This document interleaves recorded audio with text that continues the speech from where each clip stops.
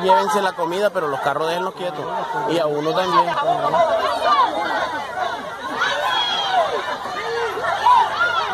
No, y yo tengo que filmar para que tener prueba, porque después dicen que uno fue el que se llevó eso. No, y eso es bueno también, ve, para un noticiero también, que se den cuenta cómo está la situación. Juan David, tira para casa. Coge uno y vete, para la casa. Si te vas a llevar uno, llévatelo y te vas para la casa. Se lo monta el hombro.